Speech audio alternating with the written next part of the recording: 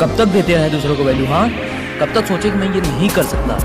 ये दूसरों को वैल्यू देते रहते खुद की इज़्ज़त की धज्जिया उड़ी जा रही है, बे। ना दिन का पता, ना रात का पता।